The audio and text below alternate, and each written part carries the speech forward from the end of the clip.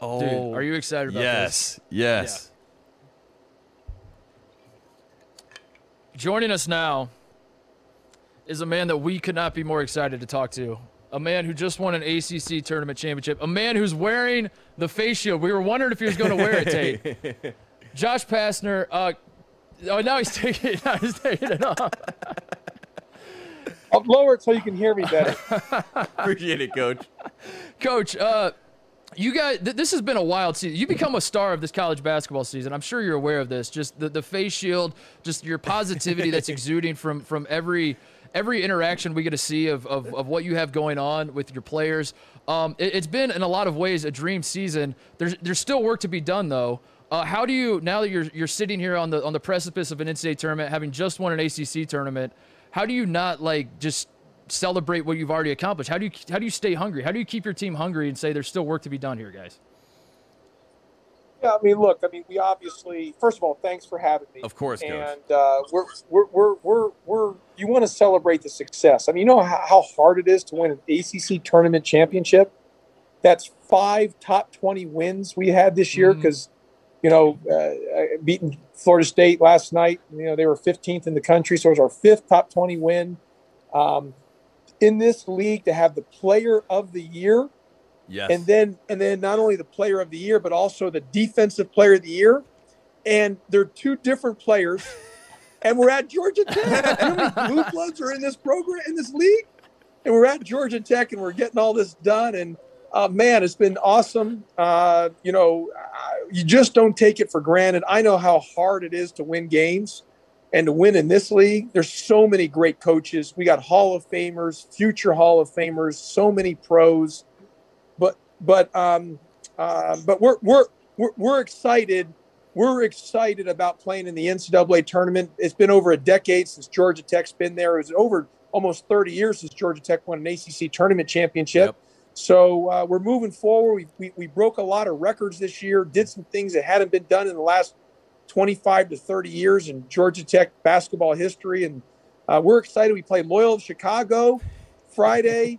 Uh, they're a great team. And people have asked me, well, do you feel like your seating was a little low? And I was like, hey, you're in the tournament and everybody's good. I don't care who you play, what the seed is. You got, if you want to advance, you're going to have to beat someone good. And that's just the bottom line. And we're really, honored to be part of this tournament. And, and, coach, we have to ask this because you mentioned Moses and you mentioned, you know, Jose, and you talk about, you know, those guys being able to become stars in the ACC. But you know, Moses didn't even have a D1 scholarship at one point. Alvarado, you know, didn't believe he was going to be able to play in the ACC. A lot of people like Titus and I at the start of the year, we didn't know what Georgia Tech was going to look like. We kind of maybe you guys wrote weren't even you guys practicing off. five on five, coach. Yeah.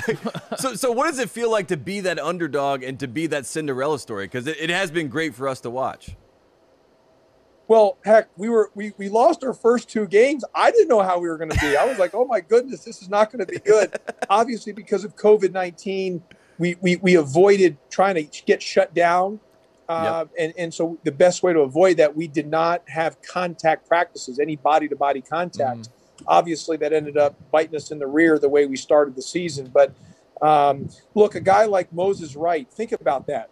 His two scholarship offers Georgia Tech, and a Division two school in the state of North Carolina. yep, yep from Raleigh. Uh, that's it. I mean, yeah, Catawba. That's that's it. Think about that. Think about that. Jose Alvarado, a three-star recruit. I had more people tell me, Coach, what are you thinking recruiting this guy? You're at Georgia Tech. that league is all about big guards.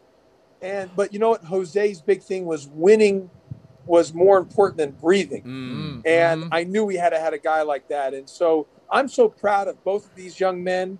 I mean, both are going to graduate from Georgia Tech. Both have played so hard. Moses Wright's development, unbelievable. I mean, he was into he was a tennis player and a swimmer. he didn't even pick up a basketball until his sophomore year of high it's school. It's very Tim Duncan. And now the guys he now listen, he wasn't the player of the year in some small little league. The ACC, can you believe that? It was the ACC, the best college basketball league in the country. Right, this guy's player of the year. It's it's an amazing story. What a great lesson for people in life. Any any parents out there, their son or daughter isn't highly ranked or recruited, follow the Moses Wright story. Yeah, go It's to a great Georgia story Tech. for, for people to follow. Coach, we'll let you get back to your team and get ready to, to, to play the Fighting Sister Jeans. Um, but before we before we let you go, one more question. Our friend Mike Rutherford uh, has pointed out that, that part part of your what what has made you awesome is your face shield. Th- thank you for wearing it, by the way, on the, so the good, interview. Coach. It's so good. Uh, he he has suggested that because in, in light of all the success you're having this year. Should you perhaps pull a Richard Hamilton and even in, po- in a post-COVID world, continue to wear the mask even though you don't need it because this is just like a good luck charm for you? It- Wear can, the can we shield, possibly Coach. see this into the future that you just keep wearing the face shield? You know what? I you know how many things have been sent to me about these new air filters that look like these space helmets that you put on your head, and it's like this this this this new air system that goes on. I was thinking about that because Coach. you know to, to wear to to you know obviously the face shield has a you know there's air coming up underneath. I was looking at something where you can put on your head and cover every aspect of it. Yes. You know, people have asked me, why do you wear the face shield over the mask? One, I feel like when you're coaching in the mask, like you almost feel like you're you're you're you know suffocating. It's hard for me to coach and talk in the mask. So the face shield allows at least the players get to see my facial expressions. I don't move it up and down. I keep it down, and and it's been good. People have liked it, and um, I feel comfortable coaching in it. Um, you know, I don't mind the face shield. I usually wear sometimes, you know, like you saw at the start of the show here, I was or my interview, I was wearing the mask plus the face shield. But uh, in the games, I wear the face shield. It's been going with me. We the guys like it. They called me the welder. They think like I'm a handyman. Yes, at an And they- engineering and school. They call me the welder, but I'm like I'm like I, I can't even screw a light bulb. You know, I don't know how to do any of that stuff. You know what I mean? So maybe in theory I look like the welder, but I couldn't do. I'm not a real handyman. Coach, we appreciate the time. Best of luck in the tournament. You- Great year either way, but God, Yes. we love you, Coach. Yes, You're Coach. welcome Please back get on an our astronaut program helmet. Please get the helmet. anytime.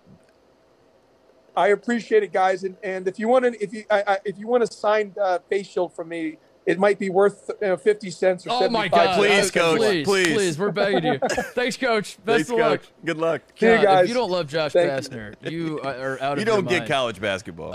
Hey there, thanks for watching Titus and Tate. For the full friend of the program experience, subscribe right below and come join us for all things college basketball. The action is heating up. Come join Titus and Tate.